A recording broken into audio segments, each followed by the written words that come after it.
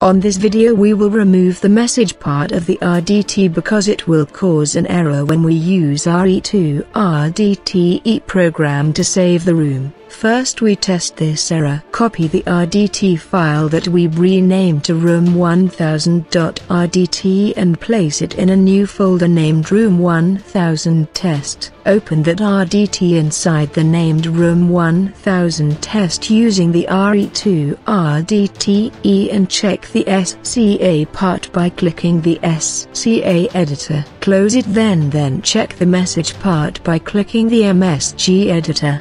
There is one message listed named message 00. This is the part that we have to take out from the RDT file. Now we will try to save it from RE2 RDTE and decompile it again with the biofat. We have now an error in decompiling the RDT with the biofat because of the message file not being handled well by RE2 RDTE. We will remove that message by going back to the renamed folder and opening the room 1000 ENA file.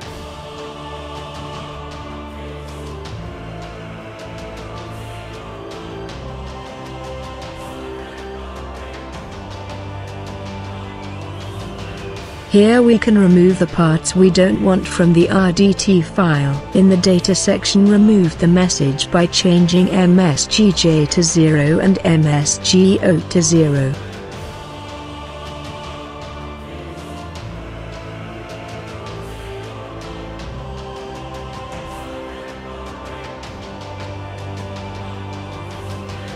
Save and recompile the renamed RDT file.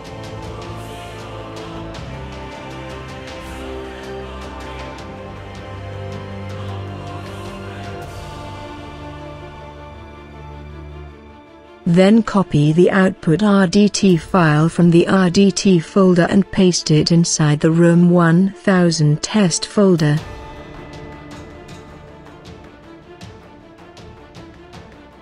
Then open it with RE2 RDTE and check the MSG editor, there should be no message listed now.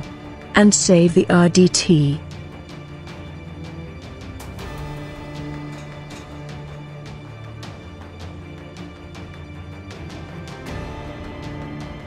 Try to decompile the RDT file with biofat and if we did everything right there should be no error.